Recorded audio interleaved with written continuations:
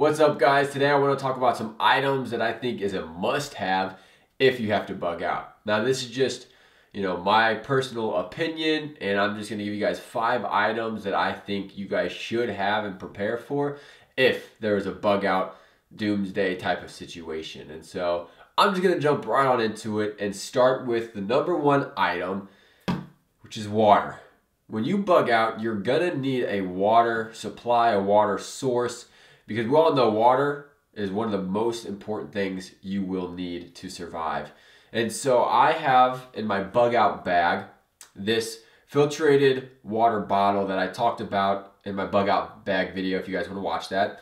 And this you can filter almost any type of water, whether that's lake, you know, uh, river, creek, rain, whatever it is, you should be able to do in this is what they say. Now I would you know, boil it for sure before filtrating it through here, but it's good to know that you have a water filtration system on hand. Now this is a little run and gun situation, but what I recommend that you get if it is an actual bug out situation and a long-term bug out situation, that is if you have to bug out from your home. Now we all know it's ideal if something were to happen, we would want to stay in our home and prepare and fight and be safe in the comfort of our own home because we all know we have everything here. But if it was like one of those uh, Red Dawn situations and the government comes down and they're ready to just put everyone in a little camp, well, you're going to want to bug out. So that's the situation I'm talking about here is actual bugging out, never knowing when you can come back home if you can. So that's what I like to prepare for. Um, and so that's a little water source right there, which is this water bottle. Link will be down below if I remember to do so.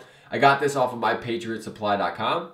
But for a more permanent water supply source, you would want to get like a Berkeley, I think it's a Berkeley or Berkey uh, water system. I'll leave a picture here if you see that. Uh, that right there, that's what you're going to want to get for a survival water filtration system. It's a huge jug. It's going to provide a lot of water and it's going to filter almost any type of source of water is what they claim. And so I highly recommend getting one. I myself have not got one yet, but that is a near future purchase. So number one is your water source. Number two, in my opinion, would have to jump over to a firearm. I think after water, everyone's gonna need a firearm for a bug out situation. Why? Well, if you run into people, you're gonna wanna be protected. If anything were to happen, you're gonna wanna have a source of protection as well as possibly a source to capture some type of food source.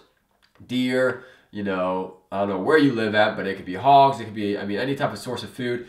It would be nice to have something that you can get that down with. And so if I were to choose one, if I could only take one weapon with me, it would be my, it would be this one, which is my AR pistol. It's very small and compactable, uh, so it's lightweight compared to others, and the size is great just to throw on you.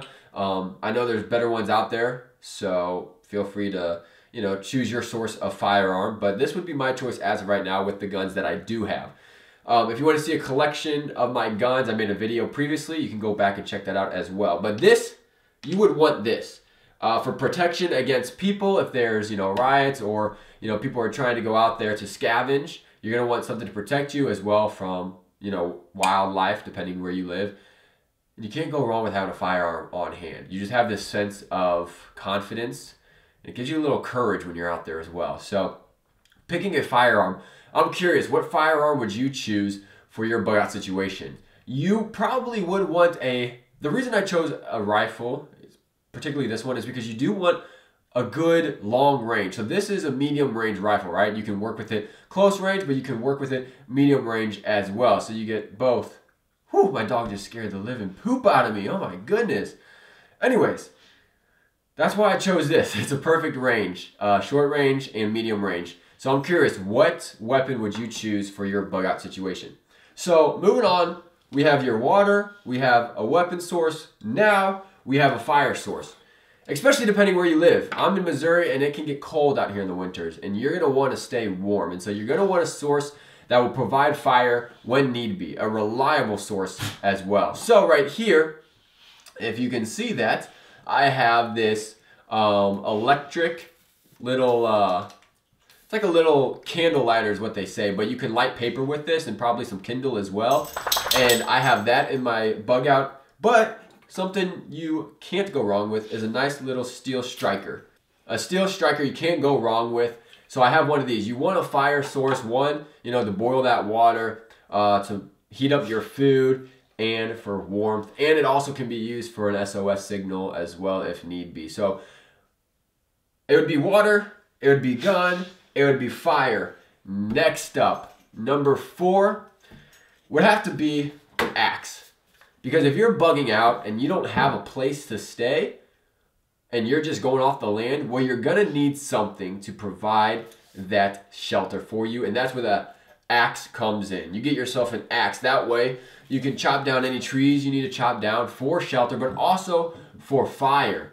You're gonna need a lot of wood to support that fire for your food and and for you know warmth as well as boiling your water. And so having an axe on hand that can act as a way to get your shelter and your heat is important. So I think everyone should have a type of axe or a uh, you know a pretty big knife that they can at least get some you know bigger limbs off the tree if you need be. But an axe. And now from an axe, we're to move on to number five, which would be a vehicle slash a plan slash a location. So I put those all in one because they all kind of collide together. So if you're bugging out, it would be ideal if you can use a vehicle to get to your bug out spot, right? So if you had, you know, maybe that's a Toyota 4Runner or your Jeep Wrangler or, you know, your Tacoma, whatever the case may be, if we could get to that vehicle in order to bug out, that's prime. And so you're going to want a bug out vehicle for that situation. And I am actually going to record a video on my bug out, uh, a video on my bug out vehicle here soon. So look out for that. But you're going to want some sort of vehicle if you have to bug out to another location. And you can have, you know, maybe that's a boat, depending where you live, or, you know, a four wheeler, or maybe a little motorcycle. It would be ideal to have a vehicle. Now, you might not even be able to use a vehicle. So that's why I threw in a plan because you're gonna want to plan when it comes to bugging out. You don't want to just bug out and be like, oh my gosh, what do we do? Where do we go? You're gonna want to have a plan, especially if you have family members that you guys want to come together and say, hey, this is our meeting point. This is where we're gonna go. This is what we're gonna do.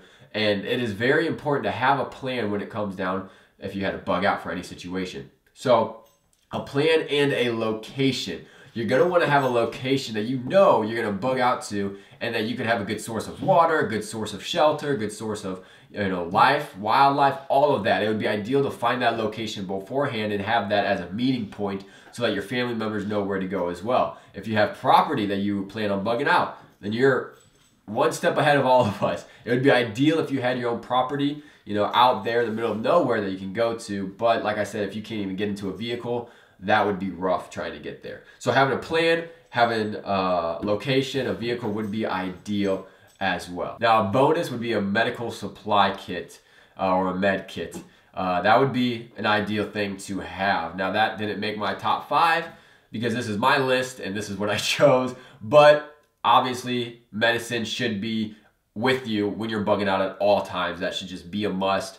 So I really recommend having a medical supply kit ready to go with all your basic needs just in case you run into a situation where you're gonna need one. So quick recap, you got your water, you got your gun, you have your fire, you have your axe, you have your vehicle, plan, location, and you have your medical supplies. So that is what I recommend, a good starter to have for a bug out situation. Like I said, I want to know what weapon you guys would choose if you guys had a bug out. Let me know down below because I might want to check it out myself. Well, that's it for today's video. Make sure to hit that like button if you enjoyed it. And don't forget to subscribe to see more of these types of videos. And follow my social media. I have a personal page as well as a tactical Christian page where I like to post my gear and some creative shots as well. So if you feel like it, follow me there to stay updated. That would be awesome. Now remember, no matter how much you prepare, without Jesus, it means nothing. No matter how much you prepare to be safe, if you don't know where you're going after this earth, then it means nothing. So until next time, stay safe and God bless. I don't do the most, but I do a lot. I'ma make a toast, cause we still alive. No big, I feel like Pac. I shoot a shot. I'm coming in.